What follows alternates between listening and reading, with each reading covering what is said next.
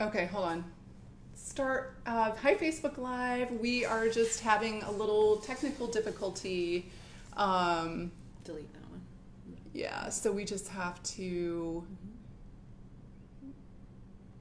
What? How do we flip it? There we go. Mhm. Okay, Yay. perfect. And Okay, we're ready to go. There we go. Yes, technology All mastered, and hopefully everybody can hear us. If not, let us know. So, welcome back.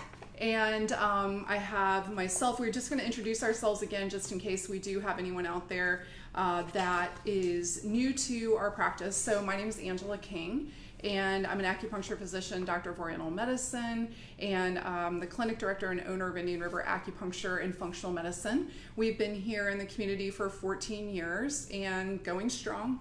And this is one of our newest associates. Uh, she's been practicing for a while, but it's new to us. She's been with the practice about two years. So I'll let Amanda introduce herself. Hello, my name is Amanda Milian. I'm also acupuncture physician and doctor of Oriental medicine. I uh, joined the practice, as Angela said, almost two years ago. Uh, I went to school out in Portland, Oregon. Uh, I, am familiar with Vero Beach, though, so I was so happy to join Indian River Acupuncture. I knew Angela's great reputation, and I've learned so much um, with the functional medicine aspect that we do here. So it's been great. Now we're doing all new new platforms, Yes. new ways to So share fun. the info. Yep. So fun. Okay. So today we're going to go back to our roots and the, get back into traditional Chinese medicine. And we're going to teach you, this is going to be full of at home techniques. Okay. So this one is um, something that you're going to be able to use on a daily basis, easy at home to build your lung energy. And so that is you're obviously relevant right now in the time of COVID-19 because every it's a respiratory virus, right? First and foremost. So we want to do anything we can to strengthen our our lung qi. We are going to try something today where there's a couple of graphics that I want you guys to be able to reference. So we're going to put those in the comments on um, we're going to try to do it on the chat for zoom and we're definitely going to do it on facebook so that you guys can either follow along or have those references afterwards um, so make it a little bit easier for everybody to um, go back and see what where those points were that we were talking about that you need to do your acupressure for or your moxa or whatever Okay, so some basic traditional TCM is traditional Chinese medicine, and that is what we were both trained in. So we're going to start with some basics about acupoints and meridian therapy, or meridians and organ systems and how they function, so that we can build this foundation. So that when we get to the lung piece of it, you guys will understand uh, more about why these techniques work and how they work. Okay, so there are 12 meridians are like the channels through which the chi or energy flows in your body okay? So we like to think of it as a garden hose analogy. So if you think of a garden hose right your the hose itself is the vessel through which the water flows. And if it, that garden hose gets a kink in it right you can have the water turned on but it's kind of just dripping out the other end that's what happens when in when we have uh, dysfunction in our bodies. It's like that kink garden hose. And so acupuncture where you can come in the office and get a treatment is really efficient at unkinking those blockages and allowing the the free flow of chi to move through your body again. But right now because we are uh, stuck on quarantine mode still we have to use some different techniques at home that are just as efficient as um, as acupuncture um, because they can be done more often they can be done more frequently right? So acupuncture is amazing it's so strong so effective um, but acupressure moxa all these other things can be done more frequently so you're getting the benefit over and over again okay? And overall, we call that cultivating your chi for overall Yes. wellness, for longevity, to be able to just function at our best. So there's 12 of these meridians pathways in the body, these channels through which the chi flow, and there's two what we call extraordinary meridians. The meridians are named after their uh, well, they have a Chinese name, and then they have a um, a organ system name. So you may hear we'll say the lung meridian, the stomach meridian, the gallbladder meridian, the liver meridian. They're named after their organ pair, but they also have a name uh, like Tai Yin, Tai Yang um, Jue Yin, Shao Yin, Shao Yang, all of that. So we were going to stick with naming them by their their uh, lung, their organ association today because we want to particularly focus on building the lung energy. Okay, so acupuncture points, these are the points on the body where the chi is easily it it it, uh, it comes together right? And you can tap into it and influence it easily at these points whether that be through moxa acupressure or acupuncture so the there's over 400 acupuncture points on the body, and most are located um, on the limbs, on the trunk and torso, the back, the legs, the feet, but also on the ears and the scalp. So there are plenty of acupuncture points to choose from. We need to know how to put them together to make a, an appropriate treatment. So what is what is qi exactly? Well, from our oriental medicine standpoint chi is the the energy that enlivens or animates the body right? So think about it like this. It, it's if we have us any of you we're all sitting here living breathing today and we have a person who is not alive. Corpse. Okay, corpse sounds like a terrible word, but let's just say that, right? What really is the difference? We still have all the same organs, all the same organs. Now, maybe this person has some disease in their organs. That's absolutely true. But what happened at the end of the day? What happened? The the the the chi that made that heart beat the chi that made the brain send those electrical impulses, that's that energy of the body that's no longer there, right? So chi is really that force, that animating and enlivening force that brings the body to life and sustains life. Okay, so in this chi, it needs to flow freely for optimal health, right? It needs to it needs to flow freely, and we have certain ways that we can influence that. Well, let's first let me go to one other point I wanted to make about chi. We have a we have two main kinds of chi in the body. We have our inherited chi or prenatal chi, they might call it, okay? And that is uh, from the kidney energy, which dominates development and reproduction. And that really is what you get from your parents. Okay, it's in inherited chi. So, and the strength of and vitality of that inherited chi depends also upon the state of uh, health of your parents at the time that you were conceived and as your mother was carrying you.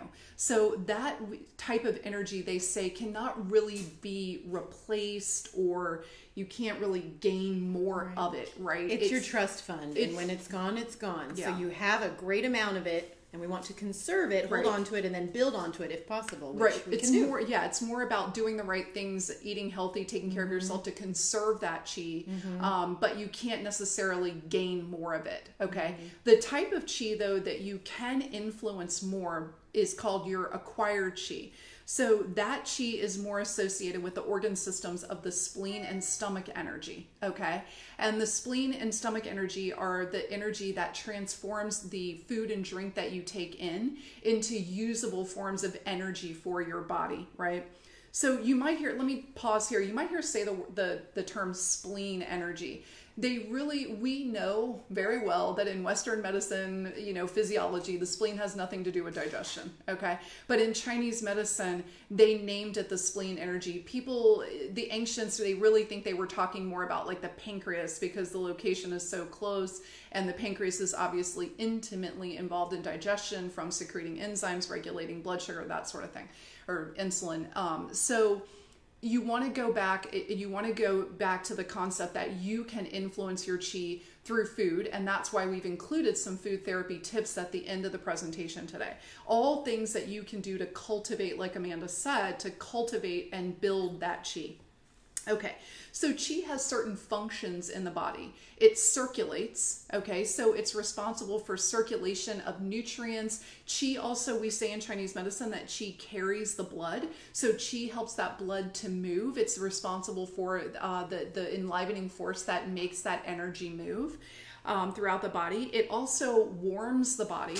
So the body needs to maintain a certain temperature, right? So the chi uh, the chi helps to warm that body, warm the skin, the muscle layers. That's another function of chi. It also protects and defends, and this is where we're going to talk about it today uh, relative to the lung chi. So you have a certain type of chi called wei chi. W E I, Wei Qi. And the um, the lung energy is really responsible for governing that. And the Wei Qi is what we might think of as analogous to our immune system. It's also called defensive qi. Defensive, so you can think yes, that Wei. Qi, your defensive first Qi, line. your first line of defense. So when that Wei Qi is strong, then the pathogen can't come inside and invade, right? So there's a lot of things in in Chinese medicine about infectious disease or acute disease, right? It's it's about a the strength of your internal constitution and the strength of your Wei Qi to be able to defend against internal pathogens, external pathogens. It's also about the the strength or the virulence of that particular pathogen right? So you can have different combinations. You can have a strong pathogen and a strong wei qi and you may be able to fight that off.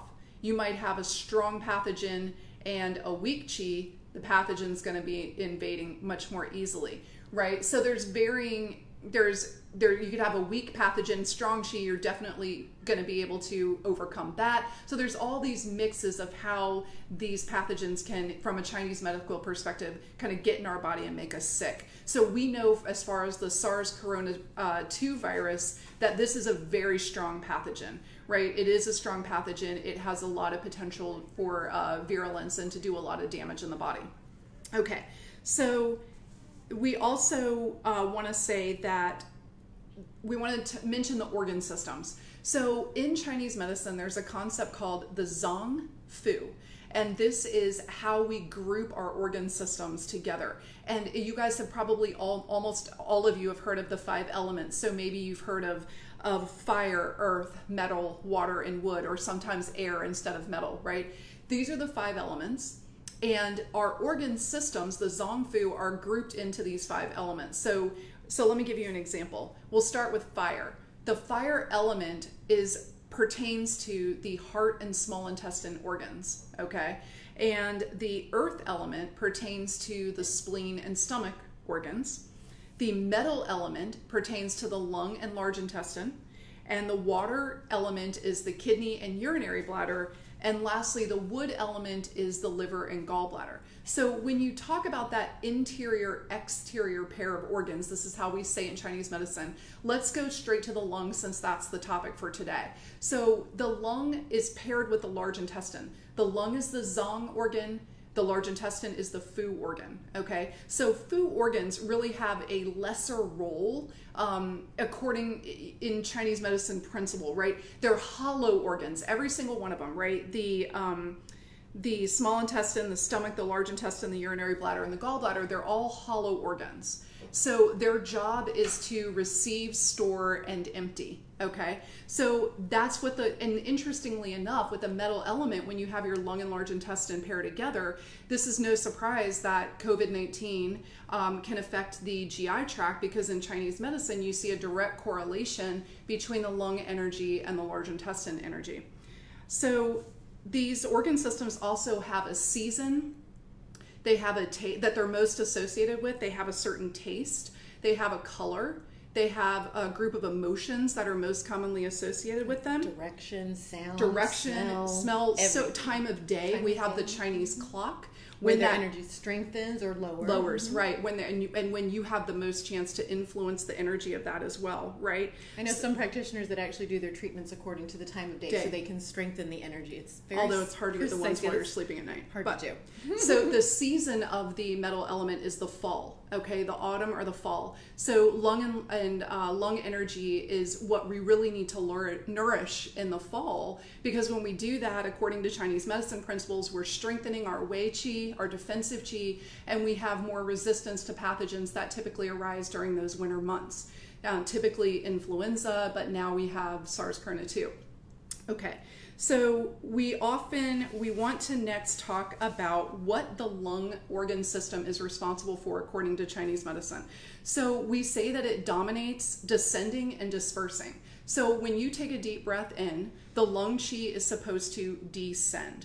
Okay, so the lung qi moves downward and then it has to be grasped. We call it grasping or rooting from the kidney qi. So the kidney qi has to anchor that breath and pull that chi downward, and then it goes back up to the lungs for dissemination throughout the rest of the vital organs. So when, and this is just how Chinese medicine explains it, and it also brings water and nourishes um, the rest of the organs and gives it the the fluids we call it in Chinese medicine that it needs. So what happens when that isn't working properly? Well, that's why you would get cough or wheezing or shortness of breath, right? So um, the cough is the rebellion. We say rebellion, rebellious chi, right? Mm-hmm. It's the rebellion of the lung chi. It's the chi coming up instead of going down. Shortness of breath, same thing. And so when we talk about the um, asthma, allergies, the, that sort of thing, also um, when we talk about uh, water, it sounds weird to think about water associated with the lungs, but when you think of it like that, when that water, when that, think of it like fluids, not water that you're drinking, but fluids, when those fluids stagnate, mm-hmm. then you can get phlegm, right? Mm-hmm. And phlegm is this sticky, viscous mucus mm-hmm. um, that you don't want in your lungs, right? Or in your sinuses right? Or even edema is associated in Chinese medicine. Um, that's swelling, water retention is associated with like energy stagnation in the lung, right? So, also, when the lung energy isn't working properly, you're going to catch colds easily. And um, also, we, it, the lung energy is talking about the upper and lower respiratory tract in Chinese medicine. So, we say that it opens into the nose and it connects with the throat.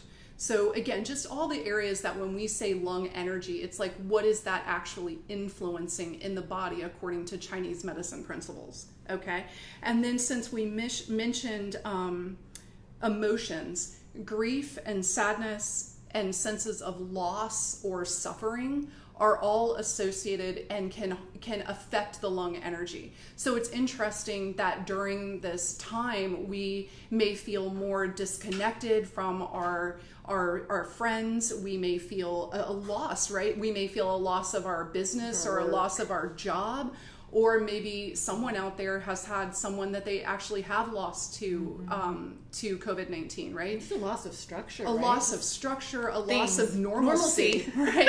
I mean, just really a loss of normalcy. So we're experiencing that, and as we grieve that in our own ways, that's also can you know if we don't move through that, that can impact the lung energy mm-hmm. and and actually weaken it. So we do want to take all of this into consideration um, in order to help strengthen our, our lung energy. Okay, so we're gonna turn it over to Amanda to talk about the Qigong, and she's gonna demonstrate a couple of simple techniques that you can do at home mm-hmm. um, that help uh, move the lung energy through the meridians. Mm-hmm. Qigong is amazing practice. It's a form of moving meditation. Um, Qigong and Tai Chi are both the first branch of Chinese medicine. It's something we can do on a daily basis to help, as we've been saying, strengthen or cultivate that Qi. I always like to tell my patients if we are cultivating and strengthening our chi on a regular basis, then if and when life throws us a mental, emotional, physical trauma of some sort, or COVID, we are a little bit more prepared to handle that. We won't be as susceptible to the disease. We will able to work through it a little bit easier, help our friends and family through it, and recover from something that much faster. So Qigong is very important. Um, and you can specify Qigong. It's a combination of breath work and movement and intention to help to strengthen um, the energy of a certain channel or meridian or of a specific organ system. So again, we're going to focus on the lung energy. Um, and I'll show you just a little stretch that you can do, and then we can add some movement to it.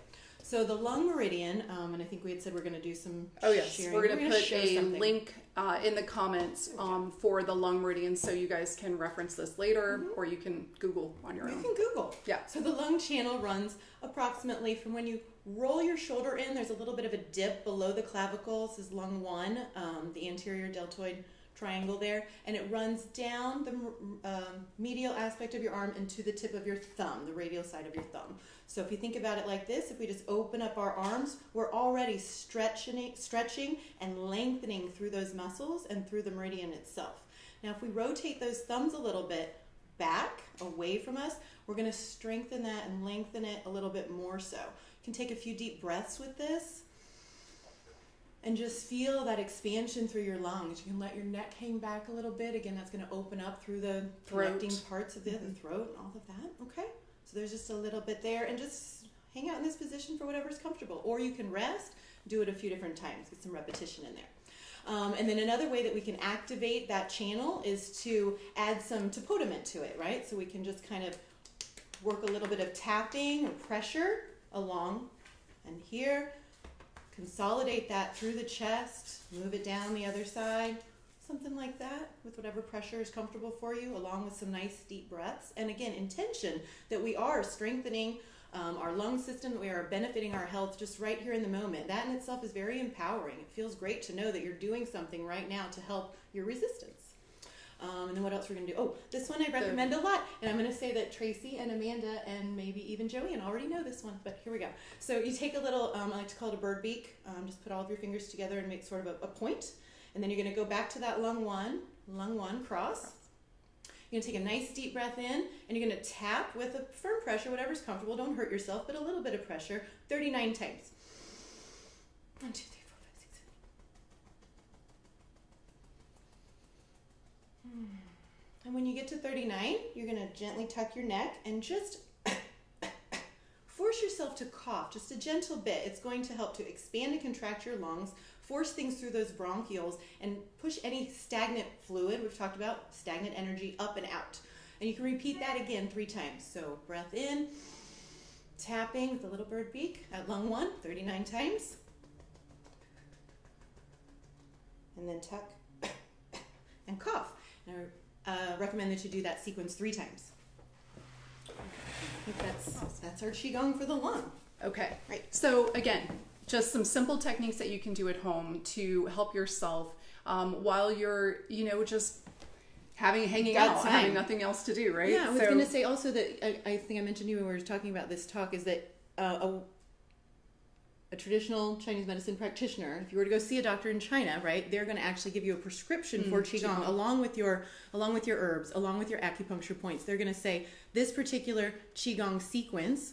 There's a thousand of them, just like yoga. There's one for insomnia. There's one for you know better um, gut health. There there's different uh, qigongs for kidney strengthening. All those different forms. So you might get an actual prescription that says do this particular form of qigong three times a day. Mm-hmm. Oh, and we were going to recommend that yeah we do this three times a week. If you could do this every day, it'd be even better. Yeah, but, every day know, would be great if you few can times a week, make every it other fit day. your schedule, mm-hmm. right? Really so, good. also in Chinese medicine, or Ori- I should say Oriental medicine in general, there are um, multiple branches of Oriental medicine, and qigong is at the top actually it's it's listed in efficacy above acupuncture because of this fact that you can do it every day on your own and cultivate your own chi mm-hmm. right whereas acupuncture you have to come in and someone else has to do that for you so the the qigong is one of those things with the meditation that you can do on your own to help yourself mm-hmm. okay acupressure that's also something you can do on your own so um, again what we we look for in this is the repetition of it. And this is something simple that if you can learn this little sequence that i'm going to teach you right now this is something that you can do if you happen to just be you know binging something on netflix or you know whatever right? You can incorporate this acupressure while you're um, into your routine. Okay. So we're going to look at first some points that strengthen the lung energy. And this is where you can reference that diagram um, if you can't quite get what I'm showing you. So the name of this particular point, um, we're going to go with the, the, the organ names of the points. They have Chinese names and English translations, but we're just going to go with numerical sequence because it's going to be easier for you to find it later on your chart. Okay, so this is, um, we're going to start with lung nine. Lung nine on, and these are bilateral points, so meaning they're on both sides of the body. Okay. So lung nine, if you have your hand up here, it's just in the depression just below the base of the thumb on the radial side of the body. So lung nine is what we call the yuan source point on the particular. Every meridian has a yuan source point. It's the source of what we call the original chi. So it's the it's the best point on that meridian to really build the energy um, and to build the chi. So you're gonna, you can rub, you know, just a gentle pressure. If you can go in a clockwise motion, that's good because you're tonifying or strengthening that lung energy. Okay, so that's lung nine. And then we're going to move to Ren 17 or CV 17, conception vessel 17. Um, and that's going to be in the center of the chest at the level of the fourth intercostal space. So that's like four spaces where you feel the spaces in between your ribs. But if you basically just aim for the center of your chest, you're going to be doing just fine. Okay. And you can just rub there in a clockwise motion. This uh, point helps what we call expand the chi of the chest. So it helps expand the chi, it helps um, build up that energy of the lungs, helps you get a deep breath, helps the chi flow and move through the chest better. So you're going to do that, and then you're going to move down to the other side. So coming, actually, you're going to go down to uh, the other side of your and do your lung nine on the other side, and then on that side we're going to move down to two points on the leg. Okay, so these are to be a little harder to demonstrate, but stomach 36 is a, a, point that has much influence on the body um, in according to chinese medicine it's used for so many different things. And um, one of them is to build the immune system or that wei qi. So you're going to take your knee if you can see me. Oh, god goodness. Okay we can use her, her leg?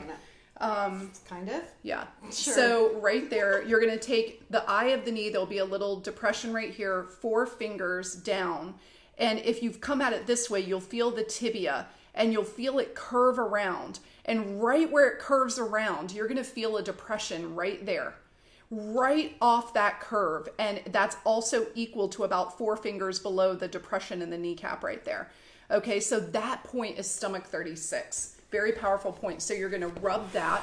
Not done with my. Oh, not done, not done with your leg. Sorry. Okay, so um, you're going to rub that point, and then you're going to go down to a point called kidney three. So kidney three is also the yuan source point on the kidney channel. Okay, so why the kidneys? Because if you remember back, what I said earlier is that the kidney energy has to grasp or root the uh, the inhalation of the breath, and so we're gonna we want to strengthen the function of the kidney too. This is a very simple point to find. Okay, so the point is mm-hmm. inside. Inside.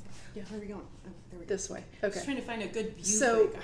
All right, so you've got your your the tip of your ankle, your medial malleolus. Okay, so you've got the tip of the ankle right here, and you'll see the you'll feel the Achilles tendon right back straight at the same level as the tip of your ankle. You'll feel the Achilles tendon. So now what you're going to do is come divide that distance in half and press right in that little depression right there. Okay, that is kidney three. So you're gonna you're gonna rub that point, and then you'll move from that side. You'll do kidney three on the next side, on the other side. You'll move up to that stomach 36 point just below the knee, and you can. That's a complete circuit that's of lovely. energy around the body, right? Mm-hmm. So we're hitting the lung energy, we're hitting the kidneys, we're hitting the mm-hmm. chest chi.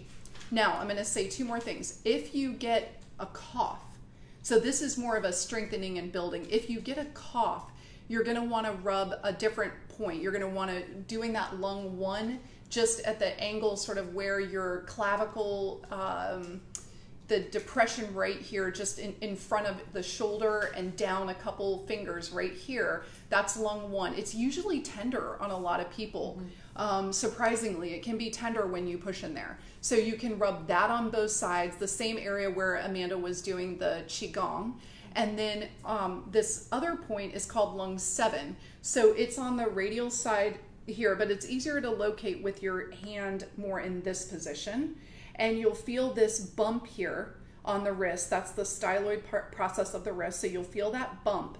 And, and sort of right over the bump, if you come up this way, away from your fingers, you come up this way, um, you'll feel a depression in between two tendons right there. And that depression is lung seven. So that is also a really good point for um, for cough, right? Because it it helps uh, rebellious lung chi. Um, so we're going to put that link there so you guys can see that lung meridian graphic or just Google lung meridian Chinese medicine and you'll find a graphic that will help you remember where those points are. Okay, so let's move on to Moxa. Oh, yes, Moxa. So we're going to cover Moxa and food therapy next and then we'll wrap it up. Yes. So moxibustion is the art of burning a, an herb over the acupressure points. The herb itself is called Ai. Um, in pinyin or it's mugwort in Latin. This is what the herb looks like when it's in its raw form. We use it several different ways. Um, they say in China if you can't do it with moxibustion, you can't do it with acupuncture. So it is very effective um, for warming those channels, for again building the strength of them, um, for increasing the synovial fluid. What else does it do? Moxa does all the things that Yeah, acupuncture warms the- does. yeah, warms, warms. opens the channels, um, Dispels builds- cold as well. blood. Yeah. Very, very good for warming. dispels cold. We say like, for example, though, what that might reference because it sounds funny to say that though. Say a woman is struggling with infertility. Um, in Chinese medicine, we could have a possible diagnosis that she has cold in the uterus. Okay, so when we uh, we use moxa a lot in ter- in uh, fertility treatments to dispel that cold and warm the uterus. So that would be one way that we have cold in our bodies. It Right. sounds but this is this is how to translate that into real life Yeah, that's perfect. And so we use the moxibustion um, as a full treatment in itself, and specifically, we're going to show you some points that will help to build the immunity, and also you can just regulate that energy of the organ system or of the channel itself that might be out of balance. Um, so again, when it's in its loose form. I never quite know what to say it looks like, but this is it. Um, it's, very- kind of its own it's thing. it's very fluffy, fluffy, powdery. like almost like lint, sort of, but Yeah. very therapeutic lint. Okay, so this is um, Wakasa, and then there's also a gold moxa. So there's a little bit difference in the quality um, of where they're being cultivated from, and maybe just the um, process of how they get get to these different forms. And then there's also a stick-on moxa, which is this loose um, herb compressed into a little stick-on form, and you can just unstick that, put it on whichever point you want to use. We'll just throw LI4 up there, and then you would light this, and it burns down. It can be a little uncomfortable as it burns all the way down, so we don't recommend this for patients on the reg. This is what I'm doing at home. This is another form of moxa that you can use. But something that's a little bit more accessible for all of our patients, and we recommend this often, is to use this moxa stick. So this is that compressed herb, um, and it is a smokeless form of moxa, which is great. It does have a small little bit of odor to it, but I will tell you that the loose moxa and the the little stick-on moxa, very very strong odor, very smoky. So Very- this is actually right. this is much better indicated for you guys at home. And we're just gonna um, you can use a, a candle to light this, um, or you can use one of these long lighters. I recommend a candle. Um, and you want to kind of think of it as an incense stick or a cigar. You want to sort of roll it around and make sure that it's got a nice glow all around. So we're to warm this stick and then we're to um, wave it over the acupressure points to even further build that energy and to strengthen and to warm and to move things in that energy system. Good. So and you, can also take like if you have a pair of tweezers or just a slate to just scrape the uh, the Ash. ash. so that it doesn't build up and fall on you because it can burn you if that happens right so We have this handy little thing like this that works, but yeah, you'll want to use something um, tweezers, yeah just something light, that can just a very light scraping right because you don't want to do it too much or you'll you'll drop the end of it off hmm So it takes a couple minutes just to get that lit, and then you never want to touch your skin. Never ever actually touch your skin. There are different forms of this moxa that are called direct scarring moxa, and they do that in Korea. We don't want to do that here. And then they do um, a warm needling where you can use the raw um, herb on the end of the needle, which is a really powerful treatment. Um, but you never want to touch your skin with the herb um, or with this stick. So you want to get about um, use your hand sure about a finger uh, finger width away from the skin that you're going for. So I'm going for LI4, um, large intestine 4. It's connected to the lung, as we said, in the metal element. And so we're just going to do what's called sparrow pecking. So it's a getting close to the point, again about a finger width away from it, and then pulling back, and then getting close and pulling back. And Angela will start to feel this get a little bit warm. I mean, that's a quite a bit of distance from her uh, from her hand, from her skin, but I can still feel that warming. It's a very subtle warmth, and the more you do it, meaning you do a few rounds of the sparrow pecking, um, then you'll move on to another point, and then you come back, and you'll start to feel that get warmer more quickly, and it will retain that heat for longer. Um, so, oh, we had a few points in particular that we're going to show you to do the moxibustion on. Um, we already showed stomach 36. So, stomach 36 is one of those points that you're going to do. Um, and I recommend you can do this every day. But again, if you can get it in a few times a week, it's going to be wonderful for you. So, stomach 36, and then a couple others on that conception vessel line sorry um, that Ren channel or the conception vessel that Angela had talked about. So we're going to just go to your belly button and you're going to do um, about a full hand's breadth above your navel, or you can kind of from your navel to where your ribs come together, they sort of wing in about half that distance, okay, about right there. Or another way to find it is to just take one full hand breath from your navel and go up, roll the edge of your pinky, right, right along the top of your belly button, and then right where your thumb ends is going to be approximately half that distance between your belly button and the xiphisternal joint or where those ribs come together. Okay, so that's CV12, conception vessel 12. Then we also want to show you CV6 or conception vessel 6, which is going to be approximately two finger breaths below the navel or below the belly button. Okay, and that's right on the midline, so right central there. Those two points.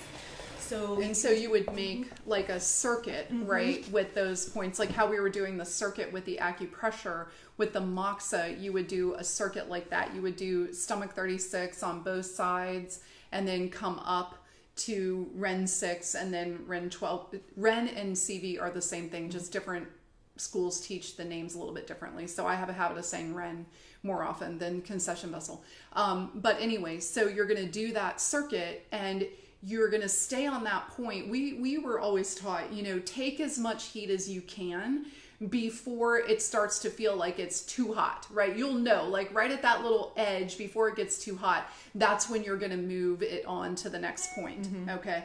So, and you're going to want to do that whole cycle until you've reached about 10 minutes. Mm-hmm. 10 minutes. And yeah, about 10 minutes. So, 10 minutes a day, three times a week would be a great um, uh, moxibustion mm-hmm. uh, prescription to help build this lung energy, build your chi, mm-hmm. um, and strengthen the, the, the energy of the kidneys as well, which is important as we talked about for mm-hmm. grasping that inhalation of chi and bringing it downward. And those three particular points were actually recommended by John Chen, who we mentioned last week, um, the herbal recognized authority in herbal medicine and Western pharmacology. So he did an incredible webinar and he specifically pointed out these Those three points. points for 10 minutes with moxibustion in the sequence. So, yeah, yep. it's great. Okay, so lastly, we're going to talk about Chinese food therapy. Okay, and so Chinese food therapy is about the energetics of food, right? It's not about calories, it's not about macronutrients, it's not about a specific diet. It's not about um, it, it's not about those types of things. It's about the energetics of food and what that particular food does when you consume it. How does it affect the chi of your body? What does it do to the chi? What does it do to the blood? Um, and this is Chinese medicine energetics. So we're going to post a link um, of a really good article um, that's going to give you a lot of references for all the organ systems of the body and what you can do to build the chi of each of those. Um, but we're going to talk about we're going to talk about the lungs specifically, but we also want you to know too that not everybody needs to build their chi. Some people need to reduce their chi, right? And so, and there's different patterns of disharmony or different ways in which an organ system can be out of balance according to Chinese medicine, right? So that's important to recognize. And that's where an individual prescription mm-hmm. would um, come in more handy because if you have, let's say, stagnant um, liver chi or liver fire, right? You wouldn't want to build your liver chi. It's already too much. So you would need to to look at the um, recommendations for um, having like a liver fire or a liver yang rising versus building the chi. So, and the same thing with the lung. You can have a lung yin deficiency. You can have lung qi deficiency. Um, there's just different ways that that lung energy can be off. So you want you need to know what your Chinese medical diagnosis is in order to really understand how to completely eat properly for your particular situation. But we're going to give some basic lung support, right? So at the very basic, these are foods that you can add into your diet that help support the lung energy. So in the vegetable category, we've got things like asparagus, carrots, cauliflower. Oh, so the lungs uh, is acrid, right? So you want, this is why you're going to hear things like horseradish, mustard greens, radishes. They, they have an acrid property according to Chinese medicine, and that supports the lung energy. So, also scallions, leeks, and onions, anything in that family is very good for the lungs. Watercress, um, water chestnuts, Interestingly, all of these are very supportive to the lung energy in terms of vegetables. For your root vegetables, your sweet potatoes and yams are going to nourish the lung. And in fruits, grapes, pears, peaches, and tangerines are most recommended. For legume category, black beans and garbanzos or chickpeas are most recommended to help again support the, the function of the lung energy. For nuts, you only want to stick with almonds, almond butter, almond milk, or walnuts. These are particularly nourishing for the lung energy. And then eh, for grains, oats are very nourishing, and rice or sweet rice is also recommended for the lungs. And then in spices, again, these have that sort of acrid, um, you know, flavor to them, right? So they're very supportive for the lung energy. So things like chili, uh, so this is spices, curry, garlic, pepper, and then ginger or ginger tea or other kinds of spice teas. So I know, like in, I think even in Publix now, you can get like yogi tea, it's mm-hmm. called. That's a good um, spice tea that's good for uh, the lung energy what you want to avoid specifically okay? Remember how we talked about the lung um, the water needing you don't want that stagnation of fluids right? We don't want phlegm we don't want mucus we don't want that. So we want to avoid foods that form phlegm easily and are cold natured. Things like dairy unfortunately for cheese addicts out there not good for the lung energy okay? Oily and fatty foods uh, sugar don't want to do that either. And these are just good recommendations for general immune health at this time, but they're also, this is exactly what Chinese medicine would tell you as well. Okay.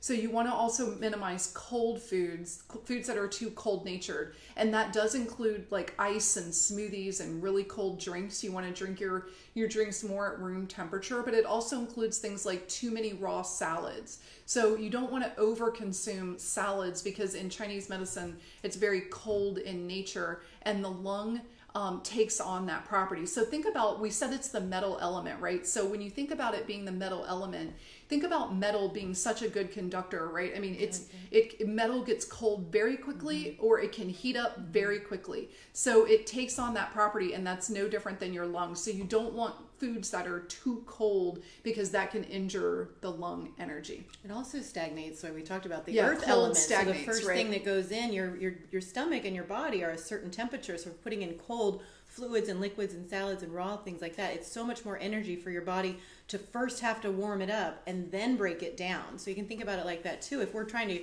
build and conserve our energy, that's just one little thing that can that can do that. Yes. So we want to wrap it up by um, if anyone has any questions, perhaps that they want to type into the Zoom chat or um, the uh, comments on Facebook. If anybody has any questions, we're certainly um, going to try to answer them the best we can if anyone has a question. Um, also, again, what we can do through telehealth would be individual consults to assess your constitution, uh, what organ systems are most out of balance for you, so that you could do um, more specific acupressure, more specific Qigong, more specific food therapy if that's of interest to you. Um, we will be back on Saturday morning. I'll have Dr. Christine Nielsen back with me then, and we're going to talk about one thing, uh, a therapy a technique that's really near and dear to my heart, which is uh, NET, neuro emotional technique. Um, and we're going to give you at home, another at home uh, tool that you can use that will help manage these emotions when you're just feeling overwhelmed or frustrated, or maybe you don't even know exactly what it is that you're feeling. But we're going to talk to you about this at home technique, why it works, how it works, and um, talk to you about neuro emotional technique. So we will be back at 11 again on Saturday morning. We're posting all of these videos to our new YouTube channel, which is under Indian River Acupuncture and Functional Medicine. If anyone wants to catch the play outside of, you know, scrolling again on Facebook, it'll still be there. Um, we would love for you guys to share the video if you're on Facebook um, and just to help us reach other people that might need to or could benefit from this information. And the last thing we wanted to say is if there's any, we have our talks basically planned through the month of May. We're going to move into gut health, as we mentioned before, which is a super important topic and very relevant to the immune system. Um, but if there are other topics that any of you guys out there are interested in hearing about, send us a message, send us an email, give us a call, um, whatever it is, or put it in the comments on Facebook, and we are happy to uh, do our best to oblige that as well. So, Thank you. Nice. And you. um, I Thank don't you. see any questions today, so I think we're good. Everyone have a wonderful day, and we hope to see you back on Saturday. Thanks for tuning in.